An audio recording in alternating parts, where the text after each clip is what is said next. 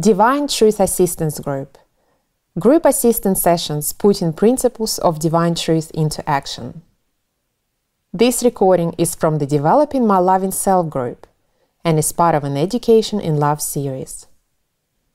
In the Session 2 personal feedback presentation, Jesus gives feedback about using our will to remove the desire to sin, rather than using willpower to change behavior and the process of taking personal responsibility for the damage we create when we break God's laws and human law. Recorded on the 8th of June 2016 in Noosaville, Queensland, Australia. Okay. How you doing all right? Yep, bit tardy coming back from the lunch there. We're one minute 30 seconds already. Can't very well punish you for something I've been doing all day being overtime. Be a bit hypocritical, wouldn't it? Okay, we will now come to our personal feedback sessions. I'm going to answer two questions.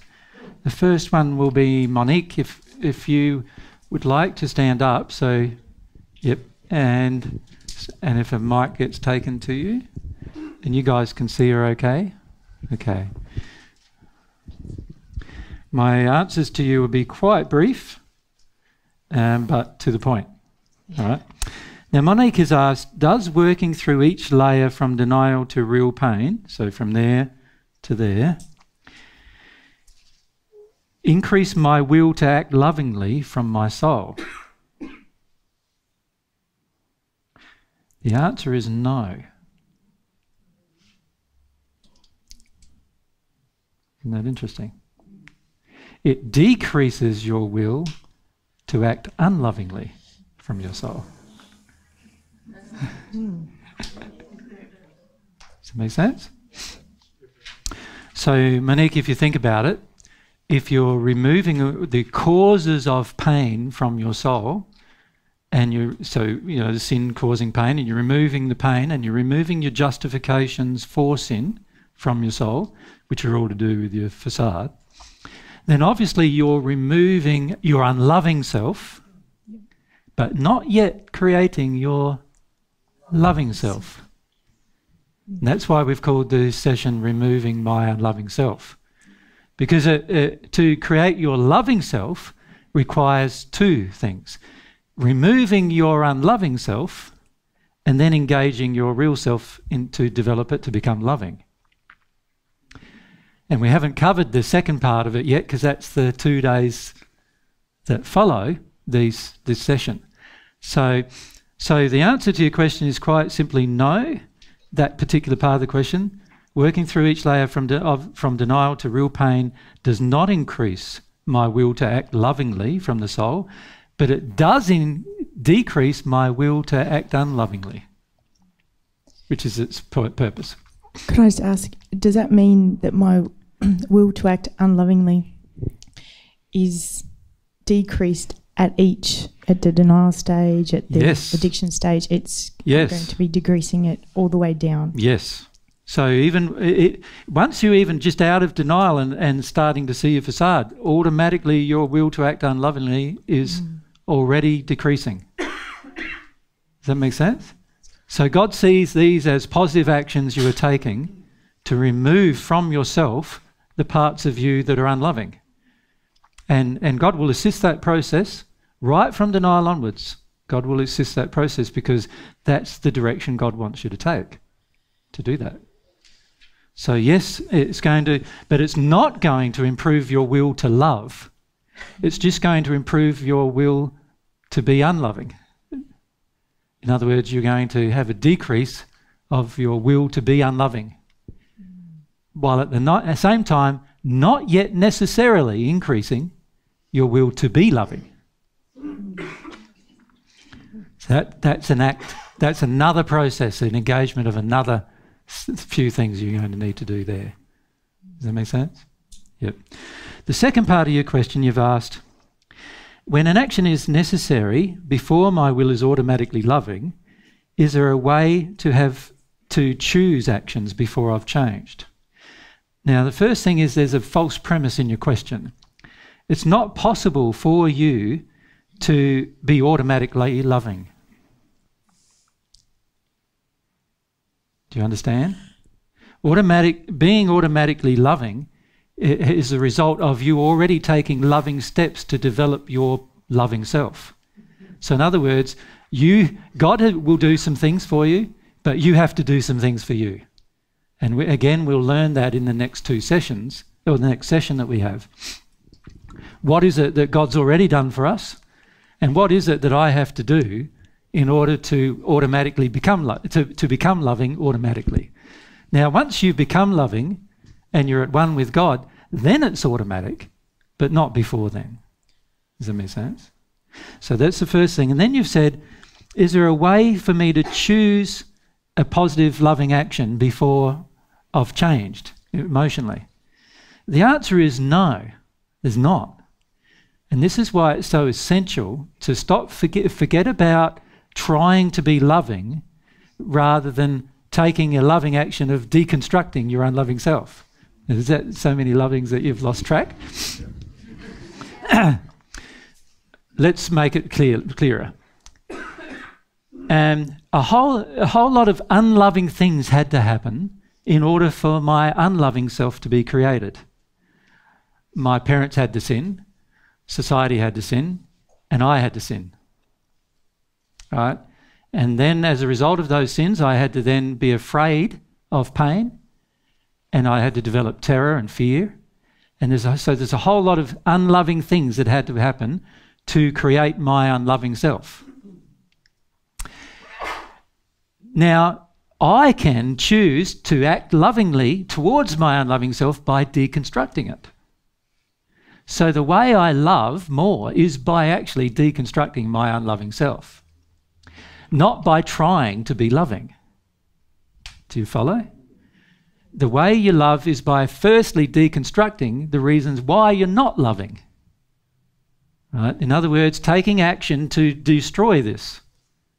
This being your creation or you know human creation, not just yours, of course, because there's other people involved. This being our creation, we need to take steps to dismantle it. Right? In taking steps to dismantle it, we are being more loving. Does that make sense? But you're not going to be more loving by trying to be what you imagine love to be and then doing that. Unless you've taken steps to destroy this. Because these are emotions coming out of your soul. And so, even if you're acting with your willpower intellectually, there is still a whole heap of uh, unloving emotions coming out of your soul. And while those unloving emotions are coming out of your soul, it's going to be very difficult for you to be loving from the soul. And, and even with your willpower, you think you're being loving, but there's still all these unloving emotions coming out of your soul. Do you follow? And while all these unloving emotions are coming out of my soul, am I really being loving? So the trouble with my willpower is it's just sort of fooling me into believing that I'm being loving when there's still all of this unloving crap coming out of my soul. And that's why the most loving thing you can do when you're, you know, in, in, a place of sin, the most unloving thing, the loving thing you can do is to deconstruct your unloving self. Does that make sense? Yeah. Now, your question is driven by your deep desire for your facade. You want to be more loving without having to address the reasons why you are unloving. And this is a big problem for humanity, wanting to be more loving while still holding on to all the unloving emotions. And it's just a fiction that we, main, that we maintain in that place. Makes sense? Believing that we can become more loving while holding on to all these unloving emotions. It's the unloving emotions that determine our soul condition. And our soul condition will force us into action based on its condition. So, unless we change its condition, we're not going to be really changing our state of love, no matter how we act. So, the key is to change your condition and focus on the change of condition rather than focusing on being loving. So, so when you notice an unloving behaviour, the best course of action is to find out the reasons why you engaged that unloving behaviour So let's say you're unloving. The best thing to do is to find the reason why you were unloving. And if you do that, you're more loving. Does that make sense? But if you ignore the reason why you were unloving and just try to be loving, that reason still remains within you, creating more sin. That was actually my obviously that was my question. Yeah. That was that was the result of I tried to be loving. Yeah. No. Well, no, you tried to be what you imagined love to be. I was trying to think of what you guys would do. yeah, but you have no idea what we'd do at this point. no. So you're only just- doing what you imagine love to be, which we already said is already a problem because what you imagine love to be and what love really is are completely different things. Exactly. Does that make sense? That's right. So that's a big problem. When you try to do what you imagine love to be, you are actually frequently sinning Yes. because because what you imagine love to be is different to what God knows love is. Right? So that's a problem when you try to be what you imagine love to be, you're only sort of sort of engaging oftentimes more sin. Exactly. Yep. Remember right at the beginning of this whole series of discussions that we've had this week, I said to you that sometimes the most difficult thing to address emotionally is where you believe you have been loving. And somebody's trying to tell you that you're not, but you believe you are. That's really hard. And that's what you've been doing a lot, engaging what you think love would do, with using your willpower without removing from your soul what your what you actually do. Does that make sense? Now, the most loving thing you can do for yourself and the most loving thing you can do for other people is to remove your unloving self. At least then you're neutral to love, not always being unloving, you're neutral to it. It doesn't mean yet that you've developed your will to love, but it does mean you've developed your will to remove unlo- a lack of love. Yeah. Could I ask anything Mm. more on that? Yeah. Um, in in that situation, I it was imperative. Well, I don't know, imperative that I that it- it was necessary that I acted in um, that I needed to take an action, Yep. and I get yeah, you're right that I tried to do something, and and I guess I was fooling myself into where I thought what I actually wanted to do was to I thought I wanted to feel through my law of attraction or what Whose law of attraction? God's law what what what it was Your soul me is attracting. Yeah. yeah um, to show me but then I had negative law negative laws of attraction coming that There's show no such thing as a negative law of attraction. painful laws of attraction There's no such thing as a painful law of attraction. um, All of God's laws are loving. None of those pa- cause pain. it just showed me that I wasn't actually loving Can you see even in the question you're asking, there's so many errors I'm having to correct. And this is the problem you see, is you, you, you imagine you know. Mm. And in the process of imagining you know, you don't you're not then open of what, what you don't know. You see what I'm saying? When when you believe remember we talked about that in the first group feedback. Imagining you know things that you don't actually know causes a big problem for you. And you're doing that quite frequently. Even with the law of attraction, you sort of the language you use about the law shows you don't know the law very well. Does that make sense? Yeah. Yep. And we'll talk more about that law, uh, and, and it's not going to be much that we talk about because there's so many other things to talk about with regard to law as well. But, but the reality is, all of God's laws are loving. There are only good consequences from every attraction. That's why, and, and even what you believe is a bad consequence, like an accident, is actually a good consequence from God's perspective because it makes you aware of something being wrong, right? None of God's laws have negative consequences in the sense that um, they only have they only have negative consequences in our opinion. Mm. It's a bit, bit different, right? And our opinion is when I break a law and, and there's a reaction, then I think that's a negative consequence. But the reality is, from God's perspective, He wants that to happen because that's a positive consequence, informing you that there was a problem that's threatening your very existence. You see, you remember I said yesterday that all of God's laws, all of them, support your very existence. So the law of attraction is there to support your existence. Without it, you would not exist. You could not exist, in fact, without the law of attraction. Most people don't realize that. Without the law of cause and effect, without law of attraction, without the law of gravity, you would not exist. Now, there's a whole series of laws that are there because to help you exist. law of attraction is one of them. If the law of attraction wasn't working in your body, your whole body would just fly apart. You'd be dead in an instant. Okay. So it's a great thing. You got the law, right? Keeps you together, keeps everything functioning and working. All right? It makes the amalgamation of your body and the way it works. Right? Even just that one law. So, so without the law, your very existence is threatened. So there's no such thing as a negative law of attraction or a negative law of repentance or a negative consequence from any law. There's consequences based upon breaking the law. So the negative consequence comes from breaking it, not from living in harmony with it. Yeah. Do you understand? Yeah. And I guess maybe I saw it as negative because I was deluding myself that I was actually taking positive action, Correct. and that's my that's my issue. I'm Correct. I, I'm off the board. Like I'm not even in. Well, I'm not even seeing most of the time that I'm in denial. Like I, you should. yeah, you, a you're calling something a negative law of attraction. And I'm saying, no, you only get a negative event from the law of attraction if you break the law, not if you're ki- in harmony with it. Mm-hmm.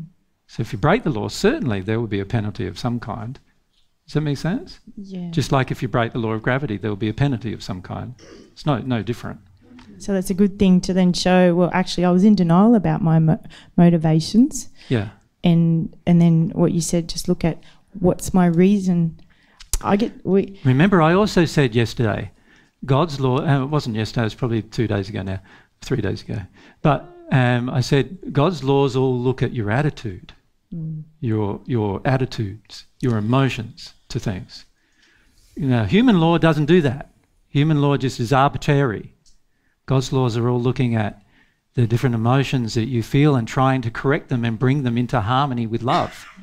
So every action of the law of attraction is to try to assist you to become more loving. Right? That's the, that's its role. And and not to just be more loving in terms of your action, but to actually become more loving in terms of the being. In terms of how you are internally. Does that make sense? Yeah. And many of you believe that all you have to do is act a certain way externally and everything's better. And in fact, your question suggests that. And what I'm suggesting to you is that is that no, to actually become more loving, we're going to have to be more loving. Mm. That's the only way. It's not it's not an action that you take, although there will need to be actions taken in order to release the unloving behavior and get more loving. But it's not the actions that matter, it's the being, the condition. So, so don't believe that willpowering yourself through things is going to change your condition because it doesn't. And, and you want your condition to change. You follow? It's the condition that needs to change here. And God's all of God's laws that are helping you on the way are all about changing your condition, which is actually about changing your character and your attitudes with regard to love, in comparison to love, from God's perspective. Not about changing your mind and mm. doing something different, mm. because that doesn't change your condition. And therefore, the condition of love inside of you does not change. So we've got to give up this concept that I can act differently and be more loving. You are either not loving or more loving based on what you are in your state, not on what you act. Although actions can cause even further degradation or further improvement. The reality is the condition of your soul has to be changed in order for your condition of love to change. Yeah. And willpower is not going to accomplish that. Yep. Does that make sense? Yep. Perfect. Yeah. Could I ask a clarifier Sure, you can. on something? Yep. Um, just on say with superiority, we know that that's a, Mhm. that's an issue. That if Well, part of, can I just make a comment about superiority just generally first before you ask a question? Sure. what I've noticed for yourself, Mon, is you're, to- you're always trying to feel like you get it before you've gotten it. Yeah. I notice a number of others, like Ange, you do that too, you know that. You try, you try to believe you're getting it before you've gotten it. And you're far better off knowing that you haven't got it and, and then working from there than you are believing that you've got something and working from there. Now, the belief that you've got something is already a feeling of superiority, particularly when I haven't got it. you it. haven't got it. Does that make sense? Yep, but go on. Is that what you're saying right now? I have a feeling of superiority that I've got it because I feel really confused even about how to. Sorry, I do. I feel really confused about even how to start in denial about my superior. Like I started to see. You no, this is a better place than you have been. What I'm talking about in the past, the last few years, Yeah, and what I've observed since I've known you, which is how long have we known each other now? six years now. Six years. On that, in that time, I've observed you act in superiority frequently, believing that you know things that you don't yet know. Does that make sense? Yeah, And even the language you use, other people listening to you think you know it. And the fact that you process things, seem to process things emotionally, other people look at that and go, she's processing emotionally, she must get it. But I know you don't. yeah, Does that make sense? So that's an issue. And that's all about what you're doing in your facade here, right? Yeah. So that's one issue. But now let's answer your question about what you were going to ask about the superiority. Well, that I that I I can't even understand. Sorry, but I can't. I know you've explained it to Pete and Yeah. a few others, but I can't even understand. Um, like how you even move from denial techniques in my sorry, but Yeah. I know you're a good teacher, but like how do you move from um, yeah, I, I see my superior, I, I justify, I saw, I blame, Yep. I like every box I I've ticked, I minimize, I deny, yeah and uh, that's that's all I'm at. I, I see it all, but I don't even know what to do with the like. I don't know what to do with that. Do you know what I mean? Yeah, yeah, no, I get you. I get you. Have some, firstly, some compassion for yourself. At the moment, you're not. So just let yourself have some compassion for what, what you've noticed. Does that make sense? You don't have to be harsh on yourself here about it all. You just, and this is the trouble: is that part of your superiority complex, if I can call it that, is actually driven by the feeling that you have to compete in order to feel valid. Do you follow me? That's what you're having to do. And and the problem with that is that is that you're just harming yourself more, but also you're not in competition here with anyone. And I said to the first with with with anyone but yourself. Do you follow me? It's about you becoming a better you.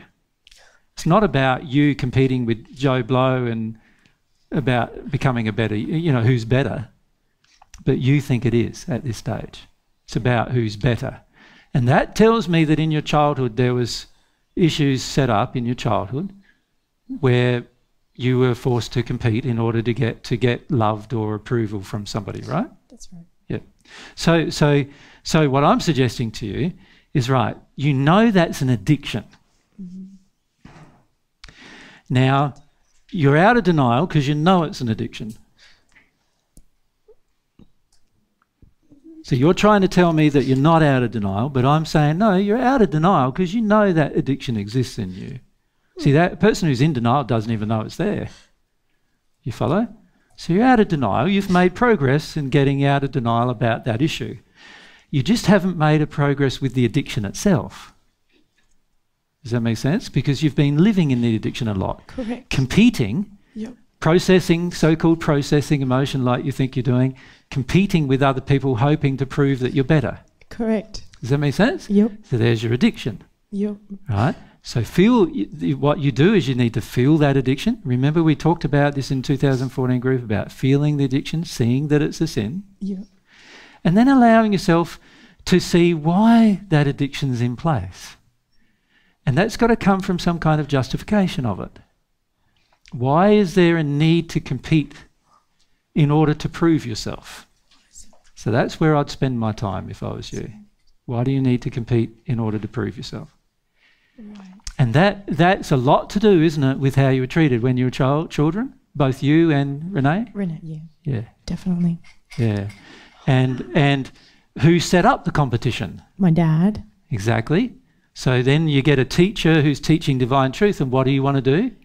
I've been dreaming about coming here, proving to dad that I've processed all this emotion. And then dad tells me day one That I haven't. that I haven't changed. And that sent me into a meltdown for the last three Exact- days. Exactly.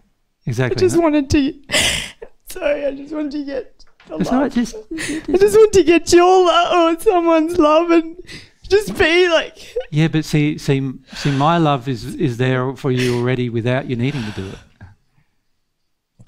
You know, that's why I've spent time answering your questions and whatever else is because I love you anyway. You don't have to do that for me. Like I'm, and you don't don't don't have to do it for God either. God loves you already.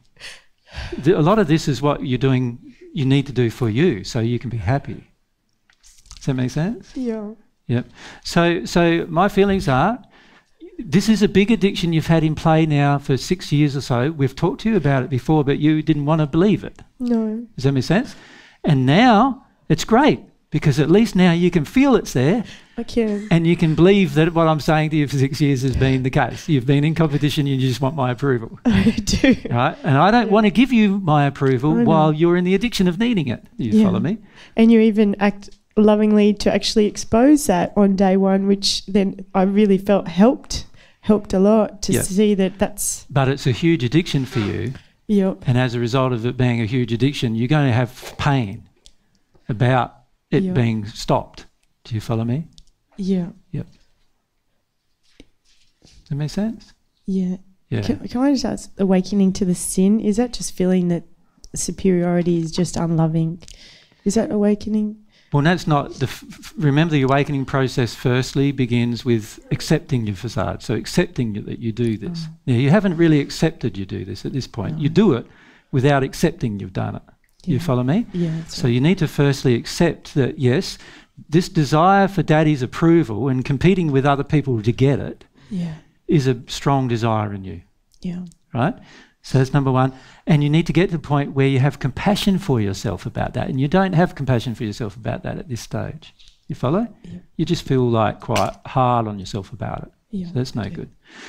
Then the second step is the deconstruction process. So, in the case of awakening to this particular sin, you'd have to deconstruct the desire to do it, the justifications that cause you to do it. Does that make sense? So, what causes you to justify competition and not see it as a act, an unloving act?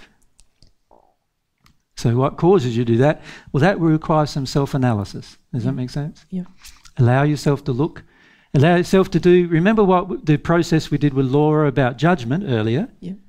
Do the same process for yourself about this issue, this issue of the desire for superiority in order to prove yourself to daddy. Yeah. So you write down similar issues. You can write down what you believe you're going to get, how you believe you're going to get it, what you've been doing, and this will help you identify the underlying emotions that drive your justification.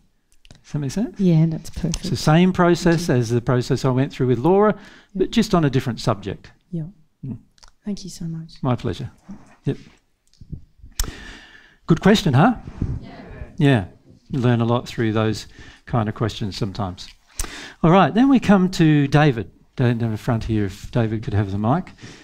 Um, now, with Dave, I'm probably going to write a few things on the board as well because I just want to answer the question quite thoroughly. So it's probably going to be the rest of the feedback session, which is now only half an hour anyway. But looks, is that right? We started at two, did we? Yeah. wow. Okay. Boy, I can talk. Um,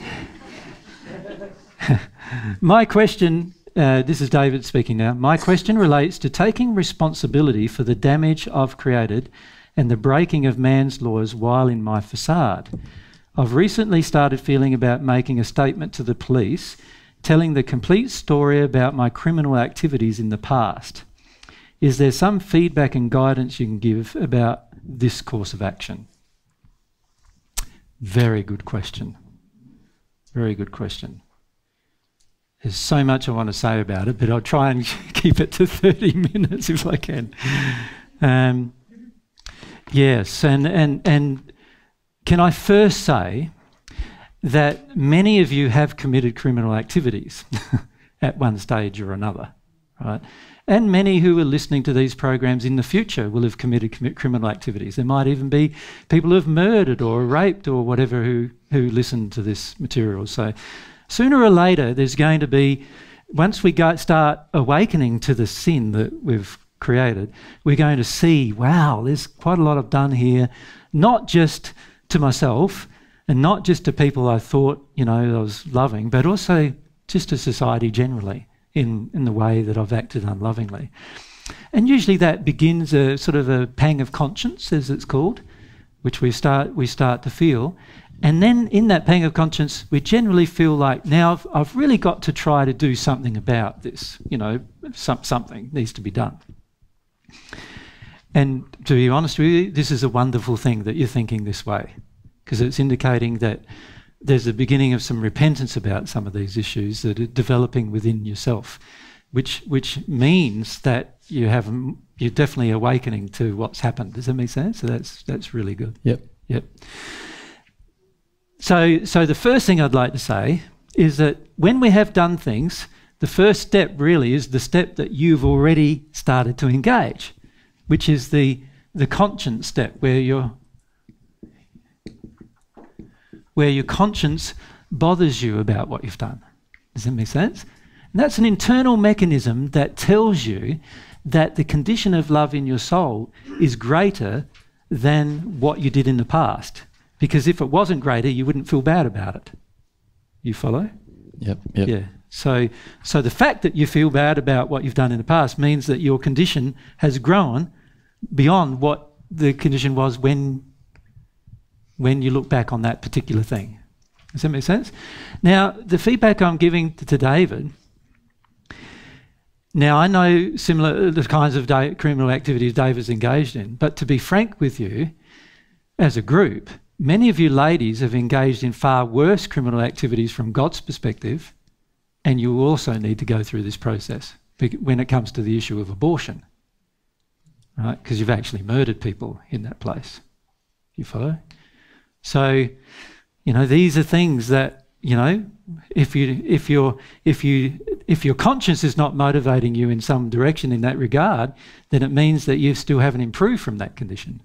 The fact that your conscience is now causing an issue for you means that you've had some improvement in your condition. So that's a very good sign.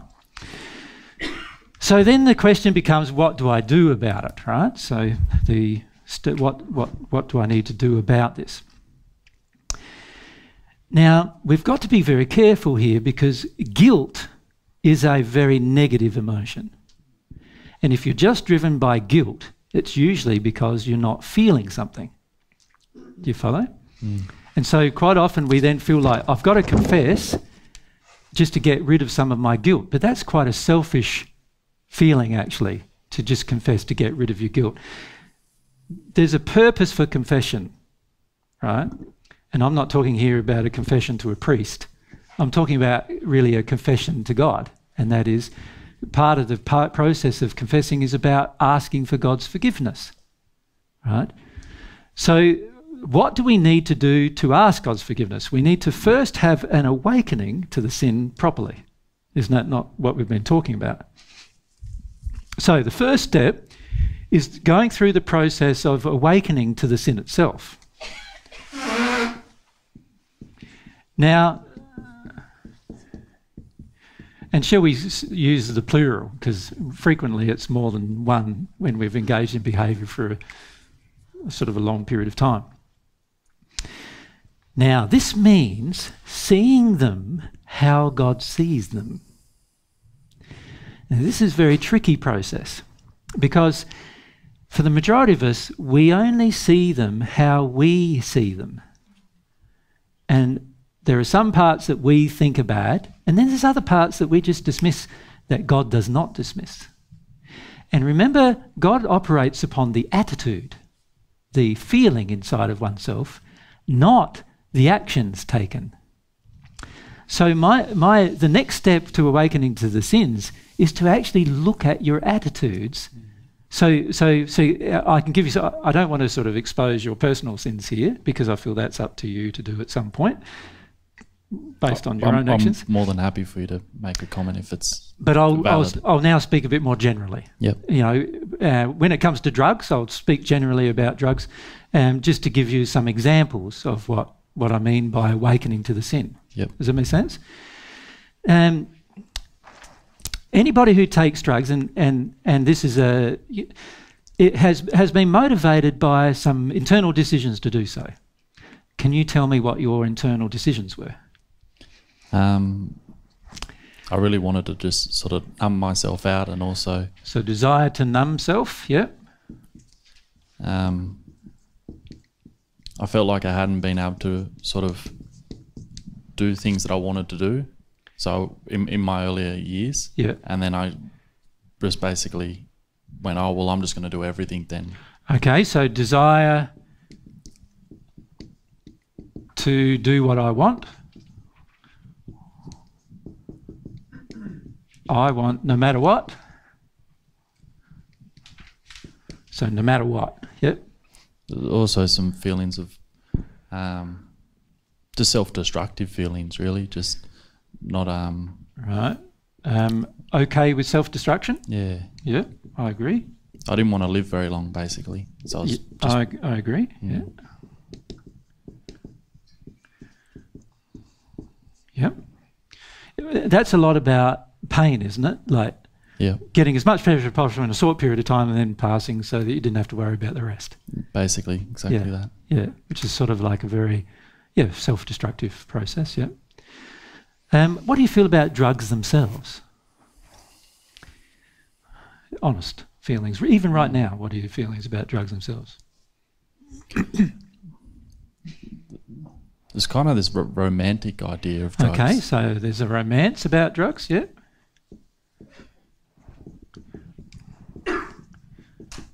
Sort of that, you know, they help you.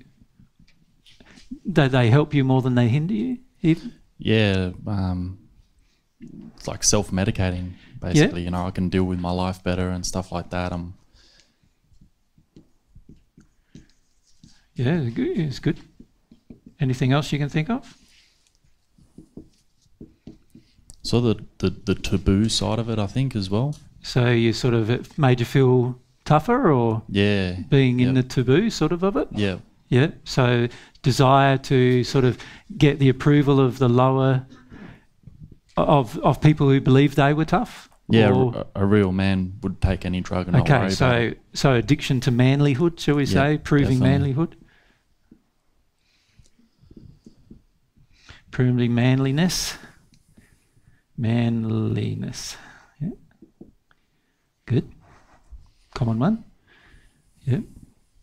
How about how you feel about fear with regard to them? Like, because they make you feel a bit fear, fearless, don't they? Oh, completely. yeah. yeah. Sort of like you can do no wrong and no, mis- you know. What's this, again with the manliness stuff? A real man doesn't feel fear. So whenever I felt fear, I didn't feel like a real man. And Yeah. So on drugs, I fear, didn't fear anything. fear free, free of fear. Yeah.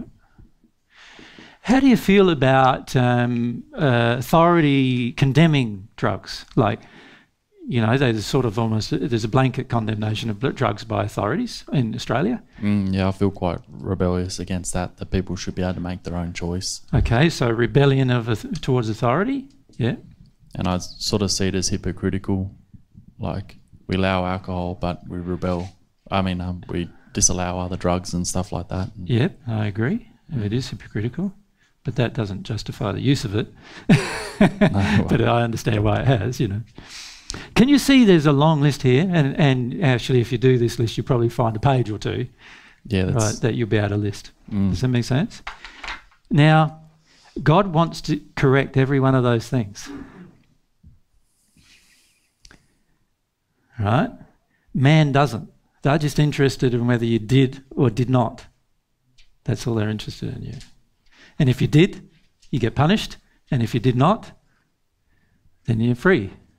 That's all they're interested in. But God's not just interested in that. God's interested in the correction of the soul in this process. So, my suggestion is that if you take this now, this decision to, to do something, immediately to the authorities without having addressed these things, then every one of God's laws is going to be in operation to address every one of these things as God's laws are currently doing with you right now. Does that make sense? yep, And in engaging the process with men, what you're going to do is have a much more rapid confrontation of, of all of these issues. There's also issues of freedom that are going to be confronted and a number of other things. See, you thought you were free, but actually, man is possibly going to want to put you in jail. You don't mm. know Yep. at this stage. Now, why they'd want to put somebody in jail who's already, you know, reformed is a, is a thing about itself, isn't it? It seems to me to be pointless to spend hundreds of thousands of dollars a year to confine somebody when that person has already reformed themselves. But you can't even rely on that. So, could we start even listing things like fear of authority, fear of lack of freedom, and so forth when we start considering all of the possible things? You see what I'm saying? What I I'm- just missed that last little bit. What I'm saying is that there will be a whole, if you fully consider the matter properly, there will be also a lot of fears that you start oh, feeling. So that the fears that have been coming up since I've been feeling about it. Fear of fear that authorities are going to punish you Yep. and when you don't deserve it. Hmm. Fears that you're going to be treat, treated badly even though you've already reformed. Yep. Fear and so forth. There's all these fears, lack of trust in authority to do the right thing by you mm. now that you've confessed, and a number of other things will all come up, right? As well. Now, all of God's laws wants that to come up. God's, law, God's laws are all governed to want those th- things to come up. So you now have a choice. Do you go to authority with the issue or and and choose to suppress all of this emotion still? Or do you actually deal with these emotions and then go to authority with the issue? Or do you go through authority with the issue with the openness towards these emotions? What do you do? Is really the question, isn't it? Yeah, definitely. Yeah. Well, I feel that's up to you. Mm. What you do. Mm. However, can I put a few little guidelines there for you? Please. Guideline number one if you choose to ignore these emotional issues and on top of that go to authority, the situation is going to turn out much worse for you than if you engage these emotional issues and go to authority. Because at the moment, there's a certain list of things that you've broken with man's laws, which is actually quite small in comparison to the things you've broken with God's laws. Now, if you can address the things you've broken with God's laws, then all of God's laws are now operating, don't need to operate upon your soul anymore about that issue to bring you to a state of repentance. You follow me? Because you're already in the state of repentance. Yep. As a result, the only outcome will be what man's laws determine. Does that make sense? Whatever they determined in the process. But on top of that, you'll be trusted more by authorities that you're telling the truth. You may be asked by authority to, um, to talk about other people, because most people who are involved in drugs um, usually at some point trafficked them or, or did things like that with them and they may be asking you who suppliers were and so forth. They may ask you then to try to compromise ethics in terms of getting those particular people. You know, in you might might be asked to be wired up and go and falsely present yourself to other people. I've I've had that situation a couple times now actually. Yeah, yeah. And would you? The question is, would you do all of those things? Well, if you're acting in harmony with love, you wouldn't be able to do some of those things, and that might mean, from their perspective, that your penalty is higher hmm. than if you had done those things. Does that make sense? So now you're going to be tested in a lot of areas with regard to morality and ethics hmm. as well. Now, what I'm suggesting is, if you address the emotions and are very concerned about any time compromising your morality and ethics, that will end up with the best possible outcome, while at the same time confessing what you've done. Does that make sense? That would be the very best outcome. If you desire to address these emotions, but when you put in the situation you compromise ethics, then the outcome from God's perspective is going to be a bit worse than that. You follow me? Yep. Then, if you desire to not address these emotions but confess, then the outcome is going to be worse than that. And then, if you desire to not address any of those things at all and not confess, that's the worst possible outcome Yep. from God's perspective. And what I suggest you do is analyze those four steps that I've just out- outlined, and you won't remember them easily. So it's good that we'll have the recording so you can go back over Yep. it, and and and see and see whether you think that's the worst possible things that could happen, because that will help you identify what some of your fears are and so forth. Does that make sense? Yep. Mm. Now, most of us believe that the worst possible thing that can happen is that we confess. But the problem with that idea or concept is that it's completely opposite to God's law about correcting the soul and with regard to repentance. The very best possible thing you can do from God's perspective is confess. Right? Firstly to God, of course, and then to authority, whoever you whoever's laws you broke. now they some of them might not be interested. There's not much you can do about that. But uh, where they are interested, then obviously there's things you can do. But then they may start engaging you in unloving behaviour, which you would not be able to do. You follow me? And, and under those circumstances, they may punish you more because you're refusing. But if you keep on reminding, look, I came to you because I'm being ethical with myself, but I can't force somebody else to be ethical. And I certainly can't do an unethical thing to get somebody else to be ethical. Right? And if you explain these things to people, who knows, they might understand that, that you've come to them with the right motivation. Does that make sense? And while they might be frustrated, that you, you might fully tell them about your story and who was involved, but you're not going to entrap those people. They've got to do their own investigation for those people because you're not going to be involved in entrapping them because that would be out of harmony with your current ethics. You see what I'm saying? Yep. So, so there's a que- the question of needing to work your way through those particular issues, and and how do you do that? My suggestion is to start working right now on firstly two th- two things from a practical perspective. One thing, listing every possible sin that you can see from God's perspective that is a part of the emotions that are, that drove the action. That's number one and, and start working through your desire to address those particular things emotionally. Mm. So that's to me number one.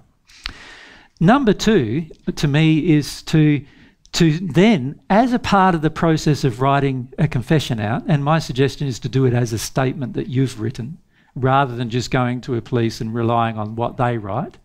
And even if it turns out to be a 50 page document, let it be like that. Do you know what I mean? When you give it. Yep. And in that process of writing out the statement, you will probably connect to the different things that are about, you know, the sins that were created. Does that make sense?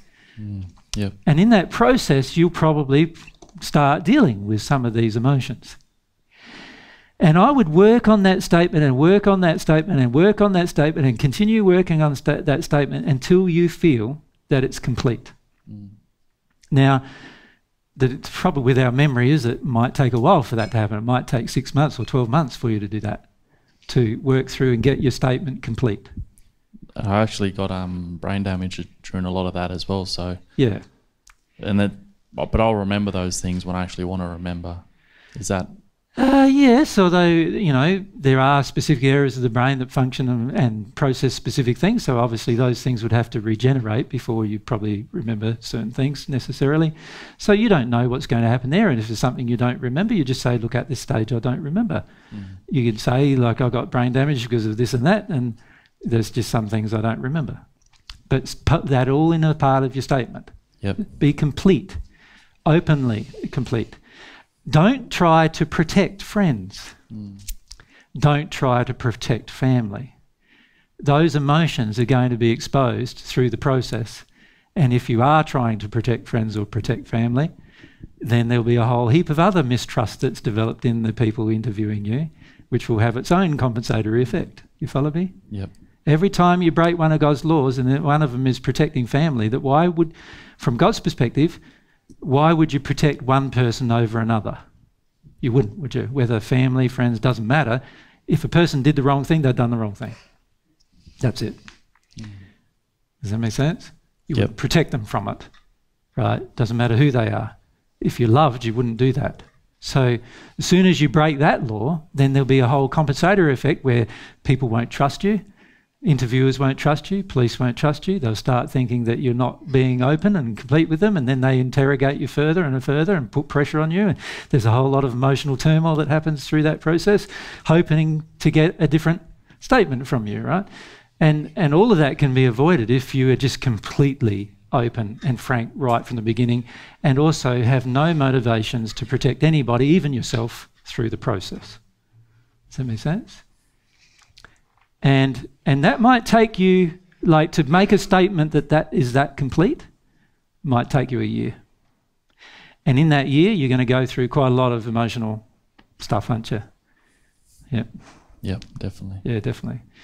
And so it might be a bit hard on you that year, going through the emotional stuff, and then even taking the act of then delivering that confession to authorities will have its own fears associated with it that you will need to feel about. It'll have your own effect on your relationship and other things like that that you need to feel about, and and allow yourself to work your way through those when when those things occur. Does that make sense? Yep. Now, from God's perspective, you're far better off doing that as soon as you possibly can than later. And the reason why is the longer you put it off from God's perspective, and particularly if you're past with these problems, um, so you know if you had a car accident and passed or something, then then all of these issues would still have to be addressed once you hit the spirit world, and you're probably not going to be in a very good environment to address them. Do You follow me? Um, whereas it's going to be a lot easier here on earth to address them if, if you can. Yep. Yeah. So that's basically my suggestion. Sound all right? Sounds really good. Thank you. But it is your decision what you do, and and no one can really force you to make choices or decisions that you are not willing to make, and make sure that the decisions you do make is the decision you want to do, not Mm. the decision you feel like you have to do. Yeah. Does that make sense? Follow follow the desire, the actual will, Yeah. not Yep. self will. Yeah. Now, when you get to the stage where you want to do the full confession thing with the full outline and everything else, then all of God's laws will be acting for your benefit. And all you'll need to worry about is how men react to that. Yeah. Does that make sense? Yep. And, and what I've personally found is that men react far better to it. Mm. They can see your openness, they can see your honesty, they can see you're sincere, they can see that you're ethical, that you're not going to break your ethics no matter what, no matter how much you're threatened. And all these things will improve the outcome for you. Mm. Does that make sense? Yep. All of them will improve the outcome. And because you've gone to authorities with the confession, this is going to be much, much better than actually waiting until you're in a court case and somebody somebody accuses you Mm. and you're in a court case of your own, or waiting until you pass, because then then you've got God's court, right, which is going to be right down to the individual issues one at a time to address. It's far better trying to find out as many of them now as you can before you get to God's court, really. Yep. Does that make sense? Now, I've had some friends that uh, I don't know if I could call them friends, but they are people, acquaintances that I know, who um, have confessed to me certain things. You know, people come along, you know, being who I am, people often, you know, connect emotionally and then they blurt out they've done something, you know. In some cases, some of them have blurted out that they've been a pedophile in the past or, you know, that they've abused children in the past or whatever. Now, in each case, I've encouraged them to act upon it, write it, do the same thing as what I'm encouraging you. The majority of them haven't. And some of them haven't for years and years and years. And then when society caught up with them, the outcome was much worse for them than what it would have been if they had gone through the process themselves. All right? And I have yet to see a person who who has done it the way like done it that way, you know, put it off, put it off until society accuses them. I've yet to see one of them actually, uh, in uh, you know, avoid what they could have avoided if they'd gone through this process from the beginning. Yep. Yeah. So, so this is a very good process because it's indica- indica- indicative of the fact that you're coming to terms with what has happened. But the key is to come to terms with what drove it, is what I'm suggesting as well. And this is not something that the legal profession or the police will actually force you to do, mm. but it will greatly assist you with God's laws working in your in, in your favour and in harmony with what you're do, choosing to do. Yep. Yeah. And what I find is that most people avoid this process with God. So even when the Lord deals with it, and they might, you know, in one case I know one of the guys who abused children, he went to jail for a few months. The trouble is he didn't have a full confession. And that I, that I he didn't even fully confess to me. I knew he did more than what he's saying to me even. And I know he didn't confess a full amount to the law because I know that he didn't confess the full amount to me. And it doesn't matter how I know that, it's just emotional, what I can feel from him while he's doing it. But at the end of the day, I know that if another girl makes an accusation of someone he hurt, just, he's only had one make an accusation, I know he abused more than one. And if another makes an accusation, and another makes an accusation after he's already gone to jail for one, you can imagine what the next one's going to be. Mm. The next punishment's going to be much, much worse. You follow? And much, much worse. And he's just putting off that. But even worse than that, he has not done this. He hasn't gone through the list and determined the like. So when he passes into the spirit world, he, he's going to think it's all done. And it won't even have begun. Far better to do it this way if you can. Yep. Yep. And I know it's going to be stressful for you, and stressful on relationship, and stressful on life, and a number of other things. And you know, you don't really know what's going to happen. So the unknown is also difficult. You know, you don't know how authorities will respond, and so forth. But at the end of the day, doing it now is going to be far better than leaving it to later. And particularly if you don't address these emotions, which is what God's laws are attempting to correct, then then you know the worst possible thing you could do is sit on it, don't deal with anything, mm. pass with still all of these attitudes to address. Does that make sense, Dave? Yeah, definitely. And I know you have a feeling of wanting to address some of these things already, and this is very, very good. And and it indicates that you're already awakening to to what's been done in the past. So before you sort of saw it as all these things you did to yourself. Mm. Now you're starting to see it as oh, I didn't just do them to myself. There's other people who were affected through this process, and this is a good thing. The key now is to engage that law of repentance as well with God. You know, ask for God's forgiveness. Ask for God to help you through this process. Continually pray for God while this process is happening. And then when you go, you know, continue praying to God that you want you want his help to work things for work out the best possible way for your redemption. Does that make sense? Yeah, For your uh, ability to deal with these particular emotions. And what I've found is if a person does that, then things can work out amazingly good from what looks to be really, really bad. Do you know what I mean? Yeah, yeah, it doesn't look good from here. Yeah, yeah. And you know what I what I have learnt in most Western society, but particularly in Australia here, is that most judges are clever men who understand issues, and they are the people who eventually draw the punishment. And while the most uncomfortable period is going to be the period that you have with the police, getting statements and all the other pressures that might appear, when you actually get to be in front of a judge, he, most of them are reasonable men who who basically can see whether a person has, you know, gone through the process of repentance or not. And and if a person has truly gone through the process of repentance from God's perspective, you've got a lot of celestial spirits who can say to the judge, "This guy's already repented. repented. You don't need to punish this guy as much as you'd punish someone else who hasn't."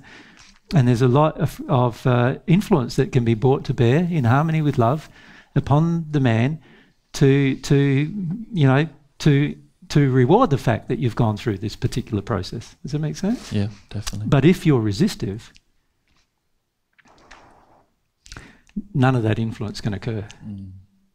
If you're resistive against God's laws, not a single piece of that influence can occur on the judge, even. And so, as a result, he's just going to make a cut and dry decision without having that positive influence. Does that make sense? yeah, And this is what you've got to consider. Have some faith in that process. Yeah. It's a lot of faith I see. Yeah. Building that faith and Yeah, yeah. If you have some faith in that process, in God's laws and in truth and those kind of things, there's so much assistance that can be brought to bear to help you in the situation without without taking away the fact that there are certain attitudes and so forth that do need to be corrected. Does that make sense? yeah, yeah. And and your spirit friends want you to correct these attitudes so that so you don't have them anymore. Mm. And when you pass, then instead of passing where you've got to address all that stuff, it'll all be done. And and on top of that, the influence they can bring to bear secularly to people here on earth will be much more positive.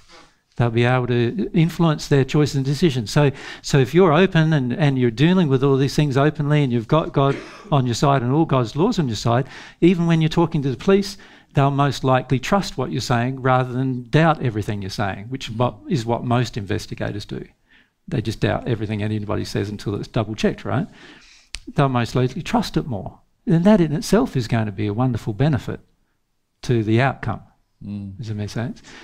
And they, but if you don't do that, they can feel that you're not being open. They can feel that they can't really trust you.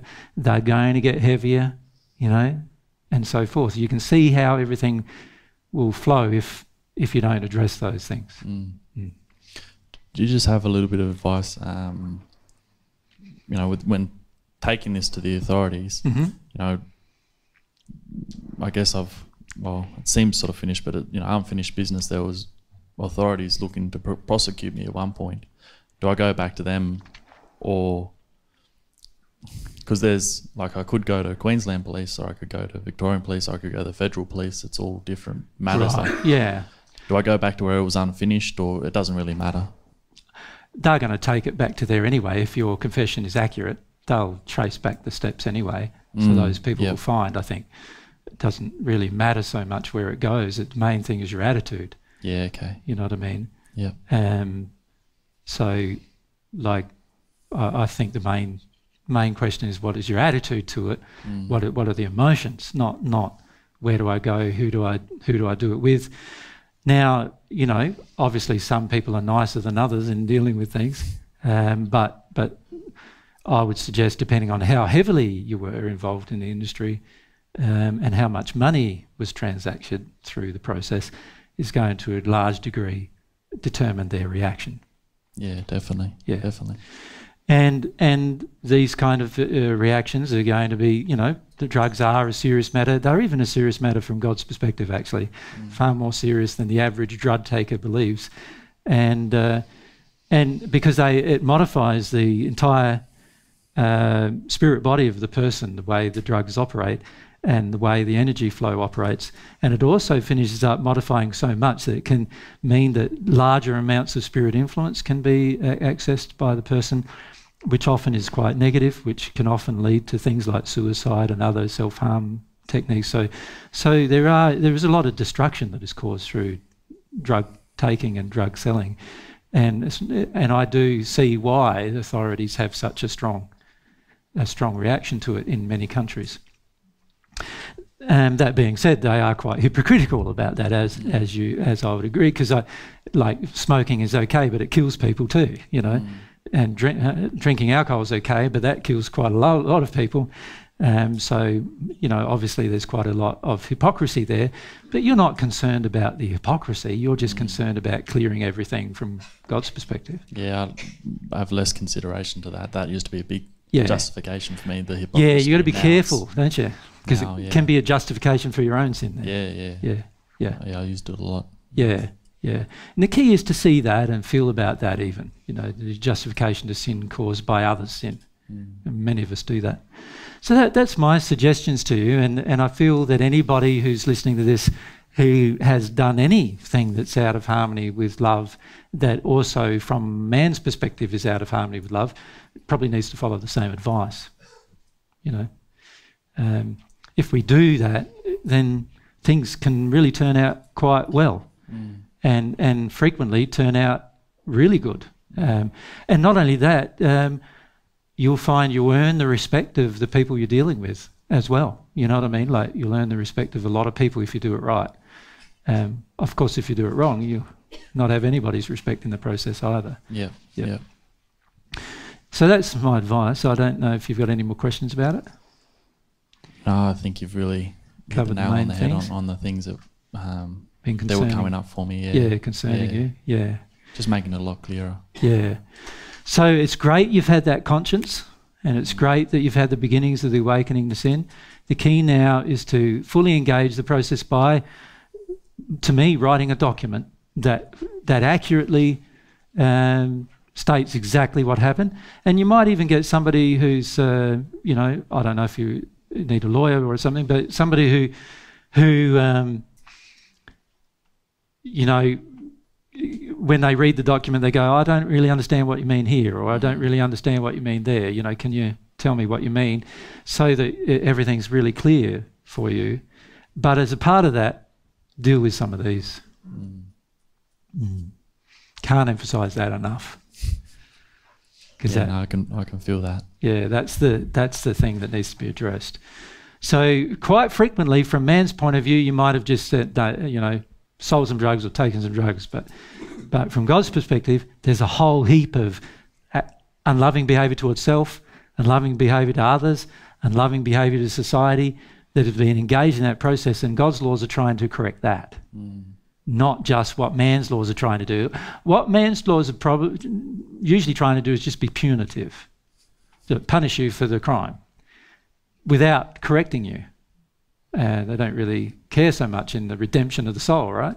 No, not at all. Yeah. What we want to do is engage the redemption process with God, and, and then you're working in harmony with all of God's laws, and then as a result of that, things can also work out much better in terms of the different influences that can occur, the different spirit help you can receive, and the fact that all God's laws are working in harmony with your soul now means that means that you're immune from prosecution with regard to the penalties of God's laws. Yeah, exactly. Yeah. No double jeopardy. Yeah, that's right. It's fantastic. Hmm, Good question. Thank you very much. How'd you find that, people? Yeah. Yeah. For that question. Very good question, and a very practical one. Very practical one for your soul. Very practical one generally, of course, but as well. Yeah. All right. I like questions like that, guys. It's a very practical question. Person's felt about some things, demonstrates uh, the beginnings of a process that, that is started, and that's that's a really good thing from God's perspective. Yeah. And while mankind may treat it a little differently at times, it's pretty good from God's perspective.